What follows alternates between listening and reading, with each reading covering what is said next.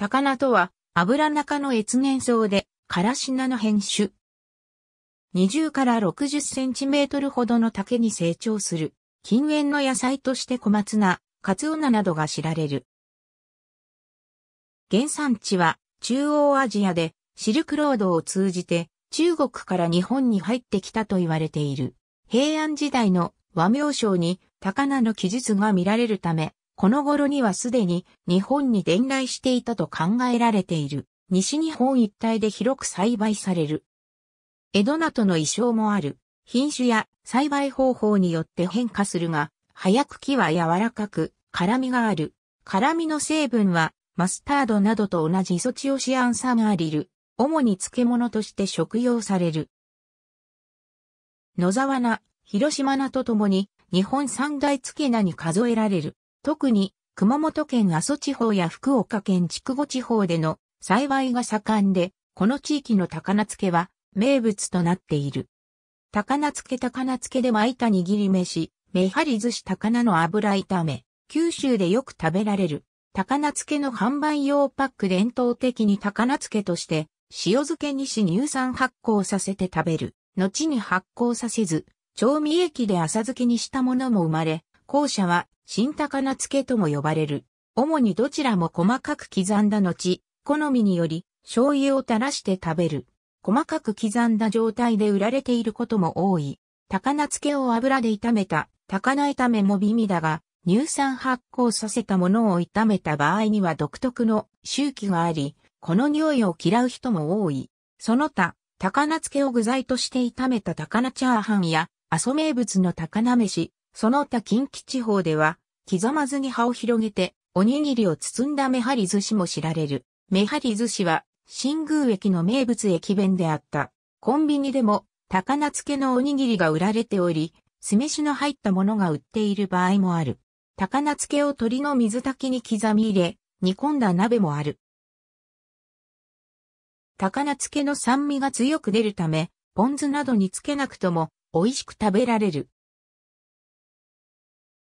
唐辛子を加えて同様に漬け込んだからし高菜も福岡県や熊本県の名産品として人気がある。また明太子を加えて漬け込んだ明太高菜は博多の名産品として知られる。福岡県、熊本県で豚骨ラーメンを提供する店はお好みでラーメンにトッピングできる唐辛子を効かせた油炒めの高菜漬けを用意している店も多い。唐辛子と油と高菜の味が薬味になる。高菜漬けではない食べ方もある。和歌山県太地町では、イルカのすき焼きに高菜をそのまま煮ることもある。高菜でクジラ類の臭みを抑えるためという、熊本県の阿蘇地方で栽培されている高菜である。平地の高菜に比べると小さめで、しんなりしにくいため、漬物作りに向いているという。収穫期は3月中旬から下旬の間で、機械を使わずに1本ずつ手で収穫する。その際に茎を倒って収穫することから、阿蘇では収穫作業を高菜折りと呼ぶ。阿蘇の高菜漬けには弱めの塩分で数日間漬けた新漬けと強めの塩分で1年ほど漬けた古漬けがあり、新漬けは香りを活かしてご飯のお供などに、古漬けはご飯のお供のほか、油炒めや高菜飯などの料理に利用される。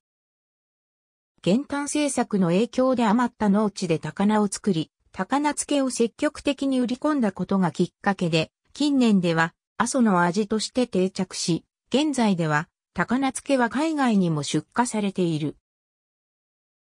主に福岡県の筑後地方南部で栽培されている品種。同県大牟田市の三池山で栽培されていたことから、この名がある。紫色の入った大きな葉と厚い葉脈が特徴で、その高さは1メートルにも達することがある。種は秋巻きで、春に収穫する。柳川藩主であった立花氏が、明治時代になって、柳川市三橋町に創設した旧立花家農樹試験場で改良された品種で、中国の四川青菜と在来種の紫高菜を掛け合わせたものである。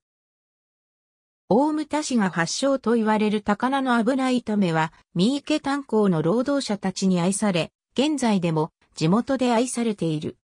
長崎県雲仙市東町で栽培されている品種。茎に小さな突起があるのが特徴で、苦味が少ないことからサラダなどにして生殖することも可能である。中国から引き上げてきた同種出身の峰間直が種を持ち帰り栽培を始めたのが始まりで、一旦は雲仙から全国に広まったものの、三池高菜に押されたことや、もともと収穫量が少ないために次第に作られなくなっていった。しかし、地元の野菜を復活させようと2002年に地元の生産者や行政などで作る雲仙小豚かな再生プロジェクトチームが結成され、現在は10軒ほどの農家が栽培している。また、雲仙小豚かなは、イタリアのスローフード協会国際本部が最も希少価値が高い食材に送っているプレシティオの認定を日本の食材では初めて受けている。ありがとうございます。